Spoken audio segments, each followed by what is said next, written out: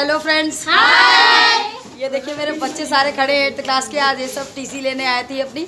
और ये हमारे पास से अब जा रहे हैं नए स्कूल में एडमिशन लेने के लिए। और हम चाहते हैं कि ये सब बस प्रोग्रेस करें और अच्छे से अच्छे क्लासेस में पढ़ाई करके आगे बढ़ते रहें।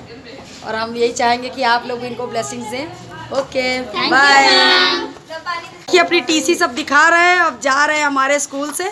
अगर हमारी ये वीडियो लाइक इसको सब्सक्राइब करिए अगर अच्छी लगती है। और दीपांशु, ये मेरे स्कूल का हीरो था जा रहा है।